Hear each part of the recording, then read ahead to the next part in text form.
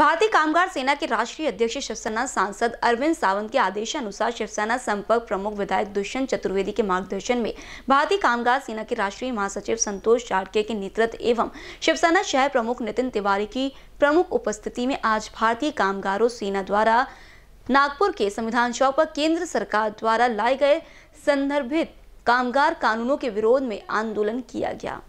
भारतीय कामगार सेना के राष्ट्रीय महासचिव संतोष चाटके ने केंद्र सरकार द्वारा लाए गए इन कानूनों को कामगार के लिए काला कानून करार दिया। उन्होंने केंद्र सरकार पर आरोप लगाया कि इन कानूनों को अमल में लाने से कामगारों के हितों में कार्य करने वाली यूनियनों के अधिकारों को शून्य कर कामगारों का शोषण किया जाएगा। यह कानून उद्योगपतियों के लाभ और मजदूर को कुचलने के लिए बनाया गया है। इन काले कानूनों के तहत 300 से कम की संख्या में कामगार होने पर कंपनियाँ बिना किसी सुनवाई के कभी भी किसी भी कामगार को नौकरी से निकाल सकती है। अंतः ये कानून कामगारों के लिए काले कानून साबित होंगे, इसलिए कृषि कानून की तर्ज पर इन कानूनों की वापसी की मांग करते हुए ये चेतावनी दी गई कि यदि यह कानून वापस भी लिए गए तो संपूर्ण महाराष्ट्र में शिवसेना, भारतीय कामगार सेना द्वारा रास्तों पर उतरकर तीव्र आंदोलन किया जाएगा।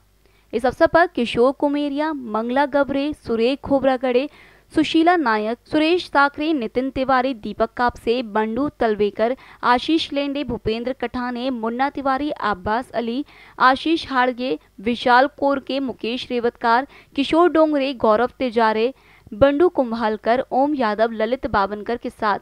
मन्नपुरम फाइनेंस, शहर कचरा संकलन व अन्य कंपनियों के कर्मचारियों के साथ, शिवसेना, युवा सेना, महिला अघाड़ी और भारतीय कामगार सेना के सैकड़ों पदाधिकारी और शिव सैनिक उपस्थित थे। Thank you.